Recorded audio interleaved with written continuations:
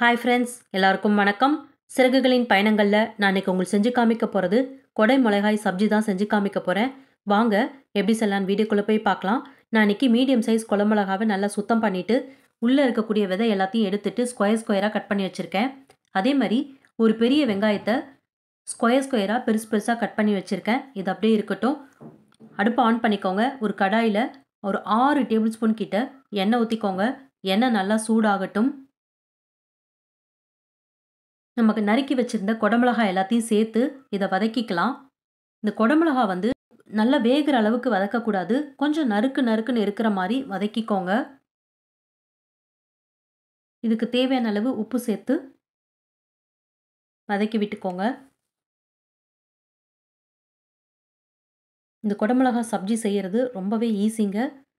சட்டுன்னு செஞ்சு முடிச்சிடலாம். சப்பாத்தி இட்லி தோசை பரோட்டா இடியாப்பத்துக்கு கூட ரொம்பவே நல்லாயிருக்குங்க. கண்டிப்பாக ட்ரை பண்ணி பாருங்கள் பாருங்கள் நல்ல ஒரு கண்ணாடி பதத்துக்கு வதங்கியிருக்கு பாருங்கள் இது அப்படியே ஒரு பவுலுக்கு மாற்றிக்கோங்க எண்ணெய் இல்லாமல் இந்த குடமிளகாவும் வெங்காயத்தை மட்டும் தனியாக எடுத்து வச்சுக்கோங்க. இது அப்படியே இருக்கட்டும். அதே கடாயில் அதே எண்ணெய் அப்படியே தான் இருக்குது நான் எக்ஸ்ட்ரா எதுவும் ஊற்றலைங்க கால் டேபிள் ஸ்பூன் கிட்டே சீரகம் தெளிச்சுக்கோங்க.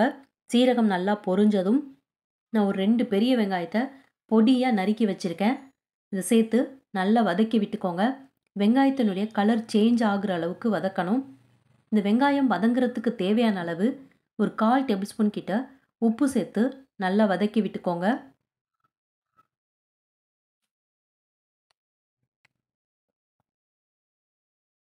வெங்காயம் நல்லா வதங்கி கலர் சேஞ்ச் ஆகிருக்கு பாருங்கள் இந்த சமயத்தில் நல்ல ஒரு ஒரு டேபிள் ஸ்பூன் ஃபுல்லாக இஞ்சி பூண்டு விழுது சேர்த்து நல்லா வதக்கி விட்டுக்கோங்க. இதனுடைய பச்சை வாடை போகிற அளவுக்கு நல்லா வதக்கிக்கோங்க.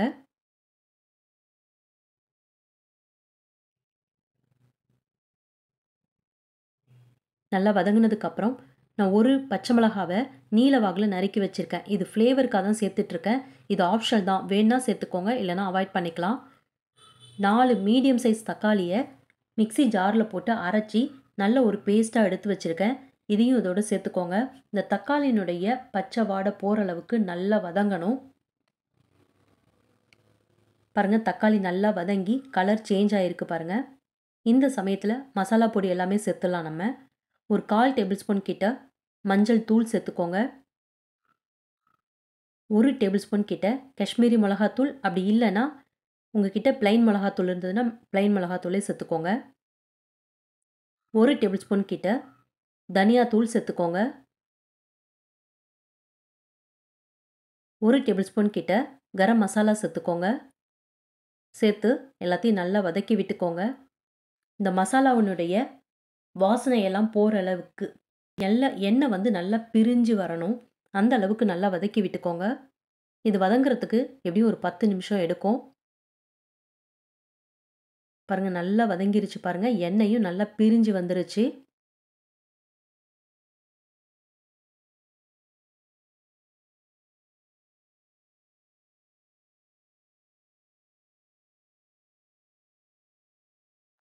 இந்த சமயத்தில் ஒரு கால் டம்ளர் கிட்ட தண்ணி சேர்த்து இந்த மசாலாவும் தண்ணியும் சேர்ந்து நல்லா கொதிக்கட்டும். உங்களுக்கு கெட்டியாக வேணும்னா கெட்டியாக கூட வச்சுக்கோங்க தண்ணியாக வேணால் தண்ணியாக கூட வச்சுக்கோங்க. இந்த சப்ஜிக்கு தேவையான அளவு உப்பு சேர்த்து நல்லா கொதிக்க விடுங்க. நல்லா கொதிச்சு எண்ணெய் பிரிஞ்சு வர ஆரம்பிச்சிருச்சு பாருங்கள் நான் நல்லா ஒரு கைப்பிடி அளவுக்கு கஸ்தூரி மேத்தி வெந்தயக்கீரை இலை காஞ்ச வெந்தயக்கீரையை போட்டிருக்கேன் நான் இதில். போட்டு நல்லா கலந்து விடுங்க. இன்னும் இந்த வெந்தயக்கீரை வந்து பசங்களுக்கு தனியாக கொடுத்தா சாப்பிட மாட்டாங்க. இந்த மாதிரி சப்ஜிலேயோ குருமாலேயோ நம்ம போட்டு கொடுத்தா கண்டிப்பாக விருப்பமாக சாப்பிடுவாங்க. எந்த குருமாவோ இந்த மாதிரி பண்ணும்போது ஒரு கைப்பிடி அளவுக்கு வெந்தயக்கீரையும் சேர்த்துக்கோங்க. வெந்தயக்கீரை சேர்த்து எல்லாம் கொதித்து நல்லா எண்ணெய் பிரிஞ்சு வந்துருச்சு. இதனுடைய காரத்தை கம்மி பண்ணுறதுக்காக நான் ஒரு அரை டேபிள் ஸ்பூன் கிட்ட சர்க்கரை சேர்த்துக்கிறேன். சேர்த்து நல்லா கொதிக்க விடுங்க. நல்ல எண்ணெய் பிரிஞ்சு வந்திருக்கு பாருங்க.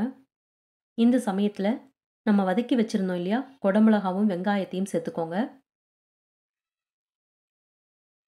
நல்லா ரெண்டு நிமிஷம் இதை நல்லா கொதிக்க விடுங்க. ஏற்கனவே குடமிளகா வந்து அரை பதத்தில் வெந்திருக்கும். இது எல்லாமும் ஒரு முறை கலந்து விட்டு நல்லா கொதிக்க விட்டால் போதும். இந்த மசாலாவோட சேர்ந்தா போதுங்க. கொஞ்சம் நறுக்கு நறுக்குன்னு கடிப்பட்டால் தான் நல்லாயிருக்கும் டேஸ்ட்டு. நல்லா வேகணும்னு நினைக்கிறவங்க, இன்னும் ஒரு 10 நிமிஷம் நல்லா கொதிக்க விட்டுக்கோங்க.